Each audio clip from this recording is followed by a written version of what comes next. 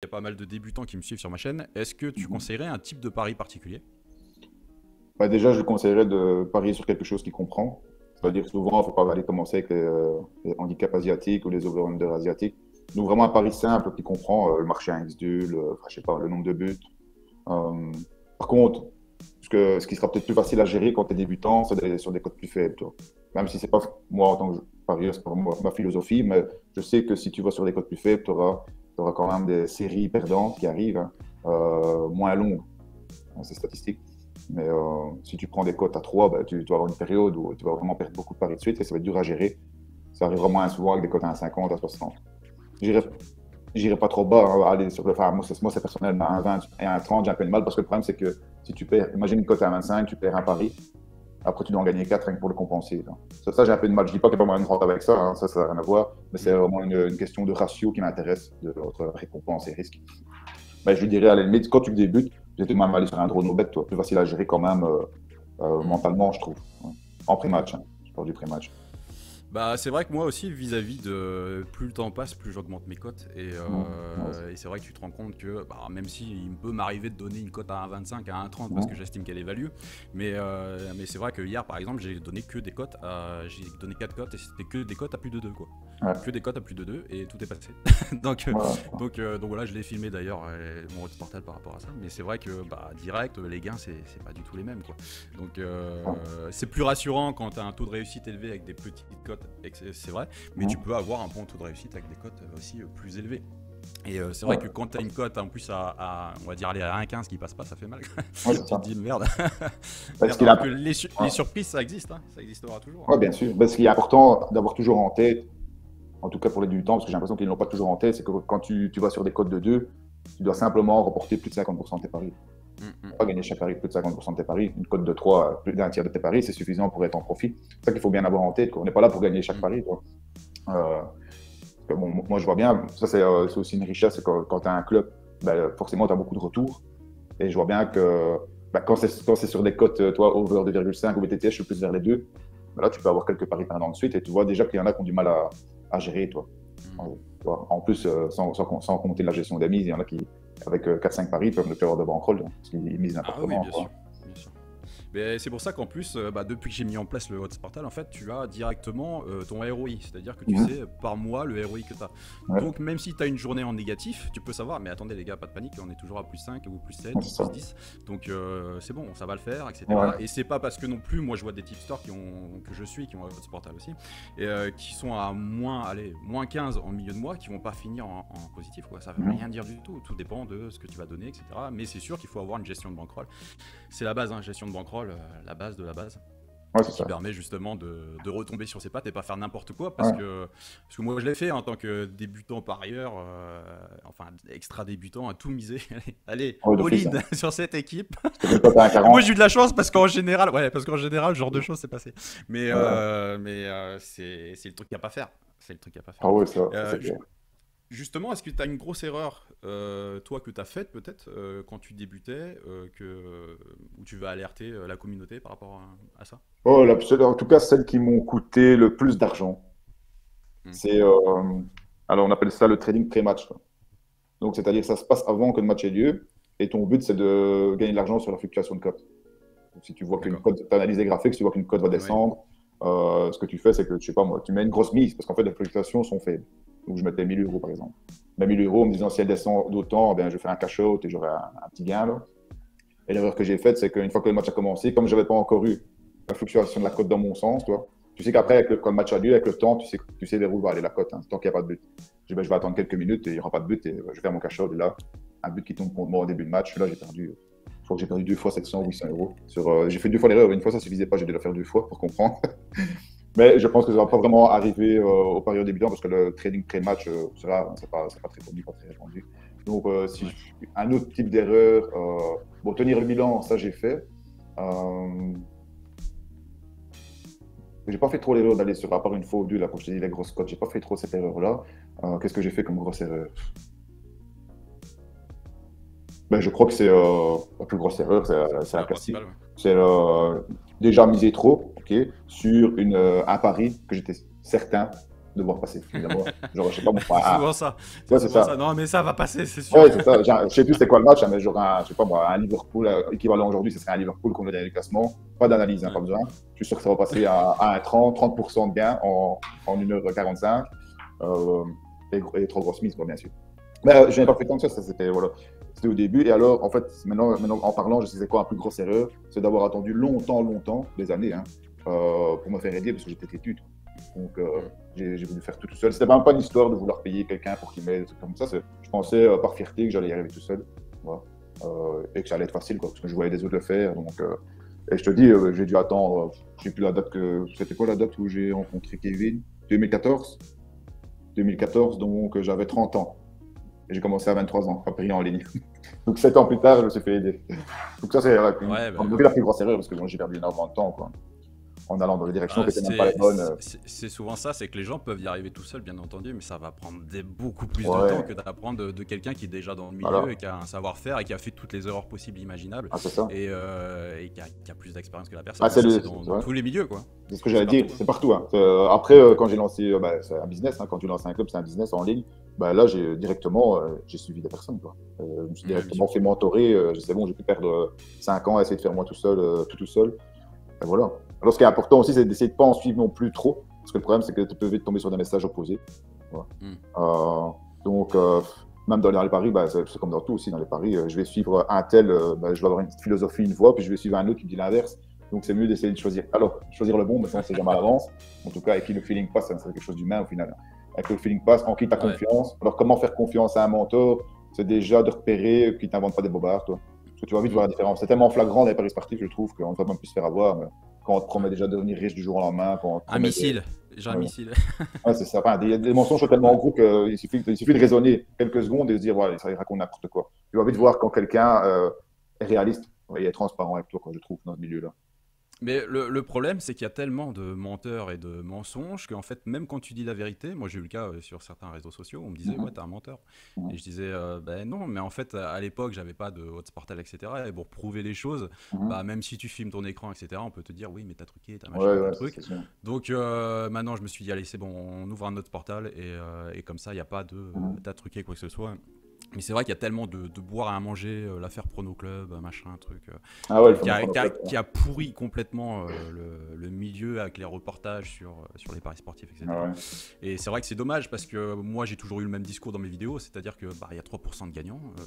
enfin voilà, la plupart d'entre vous vont perdre au paris sportif, c'est sûr. Après, voilà, si vous suivez les bonnes personnes et si vous êtes bien conseillé et si effectivement vous faites, vous avez confiance en, aux personnes qui arrivent vraiment, bah, ça va, ça va gazer quoi. Mais, mais effectivement faut faire gaffe à, certains pièges. Mais là-dessus, je te rejoins complètement. Et justement, comment tu vois bah, les paris sportifs dans le futur? Est-ce que tu as une oh, idée? Est-ce que ça, te parle? Comment ça va évoluer tout ça? bah, D'un point, point, de vue d'abord euh, bookmakers et leurs offres, etc. Euh, bon, je suppose qu'ils vont encore étendre évidemment le nombre de disciplines sur lesquelles on peut parier. Hein. Maintenant, on voit qu'on peut parier sur le football féminin. Euh, à mon avis, j'avais lu un article de Pinac disant que, genre, dans, je sais pas, dans 10 ans, euh, la discipline où on parierait le plus, c'est l'e-sport. Donc, euh, ah les jeux vidéo. Une ampleur de fou. ça m'étonne pas, ça m'étonne pas quand on voit la croissance. Mm. Euh, donc ça c'est pour l'offre, elle va toujours s'étendre. Hein. Si tu regardes déjà maintenant sur Betfair, tu peux parier sur des élections, par exemple. Je sais pas si c'est le bookmaker français, on peut parier sur des élections euh, et tout ça. sur la télé-réalité, toi, qui va gagner telle télé-réalité. Mm. soit... Donc l'offre ne va faire que s'étendre, ça c'est certain. Au niveau, euh, Je te vois bien dans 5 ans dire euh, parier sur Maeva va sortir. je risque pas d'avoir des bons résultats. ah, moi non plus, je suis pas du tout. Donc, euh, Après, voilà, ah, c'est déjà le cas, hein, c'est même pas le futur parce que j'allais parler de, moyens de paiement par crypto-monnaie, etc. Mais sur Asian Connect, tu peux déjà payer en crypto. Les bookmakers, je ne sais pas. Tu hmm. peux verser des cryptos sur les bookmakers. Mais, parce qu'il y a aussi des avantages pour eux, visiblement, niveau sécurité et tout ça. Hmm. Euh, ça, c'est du point de vue bookmaker. Du point de vue betting exchange, je ne sais pas vraiment comment ça va évoluer parce que c'est, déjà, je ne sais pas pourquoi c'est interdit. Enfin, en Belgique, c'est interdit, en France aussi, je crois, les betting exchange. Euh, même Matchbook, hein, il est interdit aussi maintenant, je pense. Hmm. Donc, il n'y en a plus aucun. Ça, je ne sais pas très bien pourquoi. J'avais déjà lu que c'était des, enfin, il y a des problèmes d'addiction. Enfin... Non, c'est pour protéger euh, l'Argel et Unibet, Bwin.fr, etc. Parce qu'effectivement, ça serait une trop grosse concurrence par rapport à eux. Ils ont fait en sorte de boucler un peu. Enfin, j'imagine, hein, je suis pas dans mhm. les petits papiers, mais euh, ah, je, je, vois bien comment ça se passe. Parce que déjà, les Argel, euh, dès que tu commences à gagner et que tu veux retirer, ils te disent Oh, on va clôturer ton compte. Donc, bon, c'est un, peu, ces manipulations-là, quoi. Pour, ouais, pour expliquer un peu aux gens, Betfair, c'est en gros, je sais qu'il y a d'autres betting exchange, mais ils sont, pas, ils sont quasi pas utilisables. J'ai déjà essayé d'utiliser Matchbook, où il y avait BetDAC aussi avant. Euh, il y a beaucoup, beaucoup moins de matchs. Et quand il y a un match, il n'y a quasi pas de liquidité parce que c'est Betfair qui absorbe tout. Et Betting Exchange, il faut de la liquidité, sinon les gens n'y vont pas. Donc en gros, en pratique, il y a un seul Betting Exchange au monde, c'est Betfair. Hein. Ah euh, c'est quand même une machine, c'est une machine énorme. Mais je crois que j'avais euh, vu, euh, c'est une nana qui tient ça, je crois, qui a, ah, je sais pas. Betfair, et il me semble que j'avais vu un reportage là-dessus, et la nana, elle est, elle est même plus millionnaire, d'être milliardaire, je crois, mais elle se fait une thune de malade avec ça. Ah ouais, ça tu m'étonnes, ça tu m'étonnes. Et, et, voilà, après, du point de vue parieur, de, notre point de vue à nous, j'espère, je le souhaite, mais qu'on va être, qu'on aura accès à de plus en plus de données, qu'on sera de plus en plus formé à faire des analyses qu'on a. Déjà maintenant, je, je, serais, je serais curieux de voir les données que les bookmakers ont qu'on n'a pas encore. Je ne dis pas qu'on l'utilise parce que, mais auquel on n'aurait pas accès. Parce que bon, les dernières choses qu'ils ont utilisées, c'était les expected goals, expected goals, les goals attendus. on y a accès aussi maintenant. Enfin, je serais curieux de voir. Quoi. Euh, bon, en tout cas, on a des outils forcément qui se développent de plus en plus. Euh, avant, on regardait les cinq derniers matchs sur Flashcore. Maintenant, ça va, il y a moyen de faire euh, un peu, un, peu mieux. tu peux avoir des, solides bases de données et faire des, très belles analyses. Donc, je, je suppose que le parieur, j'espère, en tout cas, je le souhaite, sera de plus en plus quoi, en plus efficace. Bien sûr. forcément, les bookmakers vont s'adapter aussi. Hein. Mais, euh, parce qu'en plus, les, bookmakers, tu vois, ils nous prennent vraiment pour des cons, quoi. Parce que je vois bien souvent, ils te placent une cote à 1,50 sur un joueur de tennis, et tu peux être sûr que ça va être l'outsider qui va gagner, parce qu'en en fait, euh, le bookmaker se dit, en mettant 1,50, je vais avoir la plupart des parieurs qui vont vouloir me mettre euh, placé dessus, et tu te mhm. rends compte que, bah, une fois sur deux, c'est l'outsider qui, qui gagne ah avec les cotes à 1,50. Donc euh, c'est voulu, c'est volontaire, en fait, parce que en fait, ce joueur-là n'aurait jamais dû avoir une cote à 1,50. Quand mhm. tu analyses, tu fais, mais pourquoi il a 1,50 ah, Rien du tout, elle devrait être à 1,80 ou 1,90, ça, quoi. Bah, c'est c'est la chance des bookmakers, c'est d'avoir beaucoup de parieurs euh, non formés euh, à sauvage, quoi, toi. Sauvage et, mais c'est pour ça que euh, moi j'alerte euh, aussi euh, la communauté sur bah, faites attention quoi. C'est-à-dire que le bookmaker sait très bien que psychologiquement quand il vous met des cotes, certaines cotes, vous allez vouloir parier dessus. Il mmh. le sait, il est pas, il est pas con, il voit bien qu'il a plus de liquidité sur des cotes, certaines cotes sur certains matchs. c'est très vrai sur le tennis hein, parce qu'il n'y a pas de match nul. Mais mais voilà sur certains sports comme le foot avec des cotes à 1,30, il le sait que vous allez mmh. vous allez aller dessus, dessus quoi. Mais sauf que c'est pas toujours la bonne solution. Ah, Ok, et euh, on va un peu clôturer un peu, et je te remercie déjà d'avoir participé à ce podcast qui j'espère va continuer sur la longueur avec euh, d'autres invités C'est un plaisir. Bah ouais, plaisir partagé, vraiment. Euh, donc pour finir deux choses, est-ce que tu as un livre que tu lis en ce moment et que tu aimerais partager? Alors, actuellement, sincèrement, ce que je lis, moi, c'est vraiment les... En fait, je t'ai dit, hein, celui que je suis, c'est Kevin Lavric. Et lui, il a aussi un site, et de manière assez fréquente il a des, je vais pas dire c'est pas un blog, mais des petites pages de formation hein, mm. sur sa manière de parier, ses stratégies, etc. Sa vision, c'est ça que je lis. Donc c'est pas un livre, mais c'est payant. Donc on n'y aura, pas accès comme ça. Mais moi en tant que membre, j'ai accès euh, bah, à, toutes ces, formations entre guillemets, à tous ces conseils. C'est vraiment ça que je lis depuis euh, ces dernières années en fait. C'est ça, mm. Steve Brown. Euh, je suis parti que sur eux. Je suivais un peu le blog de hum, Sport Trading Life, c'est ça? Toujours en anglais. Je suis toujours dans. En fait, ça se marque que le trading ça se passe fort en Angleterre. Hein. Euh, c'est difficile de trouver euh, un livre en français sur le trading ou une formation. Euh, mais c'est un blog, ça c'est accessible à tout le monde. Donc celui qui veut, c'est Sport Trading Life. Je pense que c'est ça. Hmm. Et, et, là, c'est aussi quelqu'un quand même que je trouve assez, assez intéressant dans tout ce qu'il dit. C'est quelqu'un de très chiffre, hein, très mathématique, mais soit c'est quand même une histoire de, chiffres, hein, les, paris sportifs et le trading. Et c'est bien parce qu'il va sur le trading, mais il va aussi sur le pré-match. Pour celui qui est intéressé par le pré-match, il y a aussi des, des explications sur le pré-match. C'est intéressant. Euh, et pour rebondir là-dessus, moi je lis non plus parce que je trouve qu'en termes de livres, il n'y a rien sur euh, les paris Enfin, il n'y a rien d'intéressant, il y en a, mais c'est vraiment très très basique et c'est vraiment pour les archi débutants. Donc je lis beaucoup plus des, livres de développement personnel parce que ça, ça m'intéresse. Euh, et même tu peux regrouper ça par rapport, par rapport aux paris sportifs. Hein. Il y a plein d'aspects qui sont liés, etc. Donc c'est très intéressant. Et pour en revenir sur, pareil, la, la, formation que tu disais qu'il est important de se former, moi, un truc où je me suis pas du tout formé, c'est genre les sites internet. C'est-à-dire que mon site internet, quand tu le regardes, c'est une grande blague. quoi. C'est parce que moi je suis parti du principe, bon, je suis bon en paris sportif, je gagne ma vie avec ça. donc forcément, on va me suivre, même si mon site c'est de la merde. J'ai le même raisonnement que toi. Mais par contre, moi je trouve pas, sincèrement, j'ai regardé hier ton site. Ah non, mais franchement, c'est très années 2010. bah, le est très basique aussi. Hein, moi, c'est même pas un site, hein, un... on appelle ça un tunnel. Ouais. une page, vraiment une seule page, puis si tu veux rejoindre le club, tu as un bouton, enfin, c'est un tunnel de vente, un peu ça. Bon, c'est pas, pas très compliqué non plus. Quoi. Oui, je pense que je sais pas si c'est vraiment le site le plus important, à mon avis, c'est d'abord te faire connaître. Non, ben voilà, c'est pour ça que je me soucie pas de ça non plus, mais euh, ça sera à refaire, tu vois, j'aurais appelé quand même quelqu'un qui s'y connaît, me dire, bon, explique-moi, parce qu'en fait, rien que pour arriver à ce résultat-là qui est pas terrible, ça m'a pris euh, des ouais, heures et des heures. faire tout toi-même aussi, quoi. Voilà, exactement. Donc euh, j'ai tout fait moi-même, mais c'est, ça sera à refaire, bah, recommencer à zéro, j'aurais dit, j'aurais appelé quelqu'un, j'aurais fait, bon, toi tu t'y connais, tu vas me Ah ouais, ouais, moi maintenant j'utilise des trucs comme ça, j'utilise Fiverr ou 5euros.com, hein, tu vois. Ah ouais, bien sûr. C'est un site de freelance, je me casse plus la tête. Hein. J'ai l'idée en tête et puis je dis, fais ça, quoi. Ouais, bien sûr. Mais t'as raison, complètement. en plus, ça coûte pas cher. Et là, maintenant, c'est le petit moment instant promo. Donc, si tu veux parler bah, de, ton offre, de ce que tu proposes euh, aux différents parieurs, c'est le moment. Alors, d'abord, je sais pas si j'ai parlé de ma chaîne YouTube, mais c'est simple, c'est la chaîne YouTube de mon nom. J'ai toujours de commencer par là, vu que YouTube, c'est gratuit pour regarder la vidéo. Et je fais quand même, j'essaye en tout cas de faire du contenu intéressant pour faire progresser. Donc, euh, première chose, c'est d'essayer d'absorber un maximum de contenu hein, pour, pour se former. Ensuite, euh, quand je parlais de mon club, j'ai plusieurs, j'ai plusieurs petits produits, mais euh, le truc principal, c'est quand même mon club, mon club privé. Quoi. Euh, là-dedans, ça se passe comment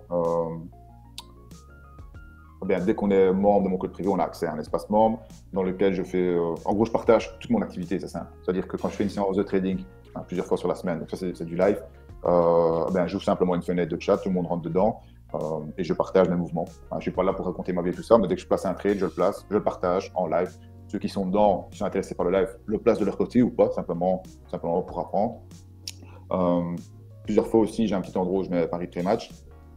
Que ce soit des paris que je, que je vais placer moi ou que je place pas, mais qui me semblent très intéressants. Parce que moi, je vais les trader en live souvent. Hein, donc, euh, hmm. je ne vais, pas faire le, le match en pré-match et puis en live. Donc, je donne quand même une partie pré-match parce que je sais que ça intéresse pas mal de gens. Parce que c'est vrai que l'avantage du pré-match, c'est que ça prend beaucoup de temps.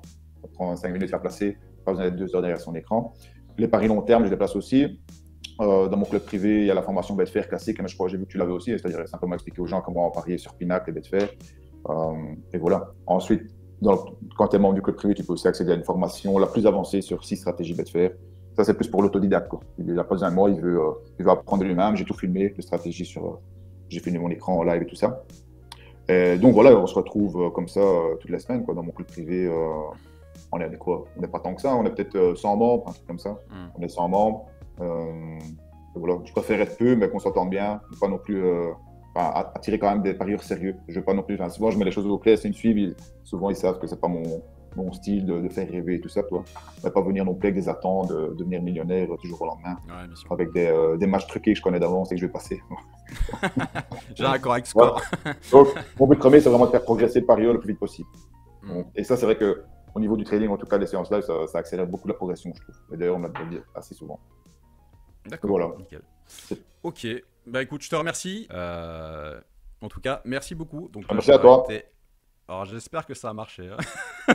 si ça n'a pas marché, euh, c'est la merde. N'hésite pas euh, à me laisser tes questions en commentaire, j'essaierai d'y répondre le mieux possible. Voilà, je te remercie, je te dis à bientôt pour une nouvelle vidéo. Bye.